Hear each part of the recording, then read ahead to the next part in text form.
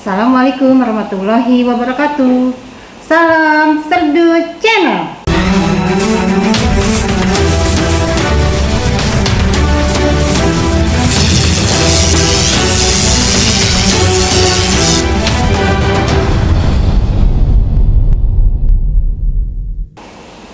Anak-anak jumpa kembali dengan Ibu Yuyun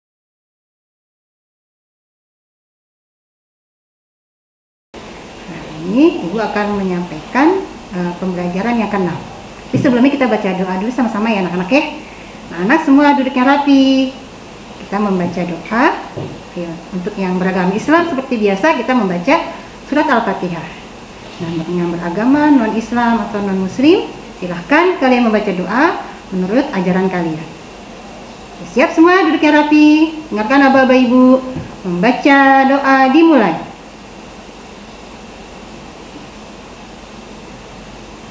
Selesai.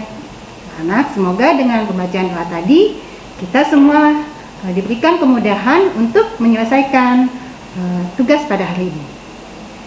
Anak, uh, materi kali ini yaitu pembelajaran ke-6 ada di halaman 35.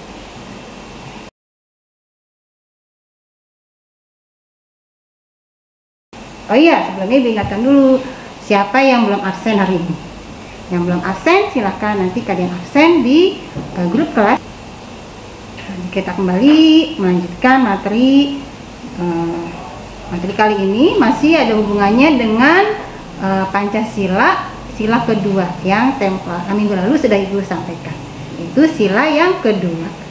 Nah, ini uh, kalian uh, dengarkan ya, Ibu akan bacakan materi pada hari ini. Sambil ibu membaca, kalian uh, simak uh, di halaman 35 ya anak-anak ya.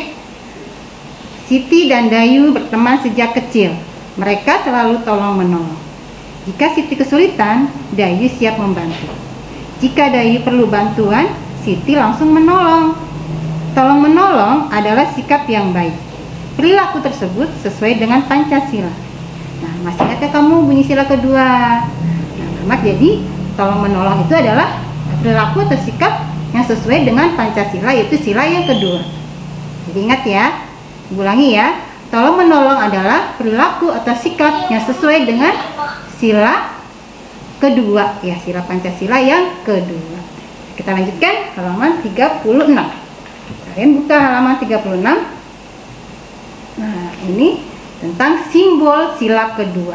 Nah, sila kedua simbolnya adalah Nah, siapa yang tahu? Nah ini ibu kasih tahu yang untuk anak-anak semua ya. Sila kedua adalah uh, simbolnya rantai. Nah nanti kalian uh, itu ada tulisan simbol sila kedua adalah rantai. Kalian salin tulisannya nanti ya di buku tulis kalian. Kemudian uh, kalian gambar simbol sila kedua ya. Ini masih ingat kan? Yang tadi ibu sebutkan simbolnya sila kedua adalah rantai. Nah, anak-anak itu saja tugas pada hari ini.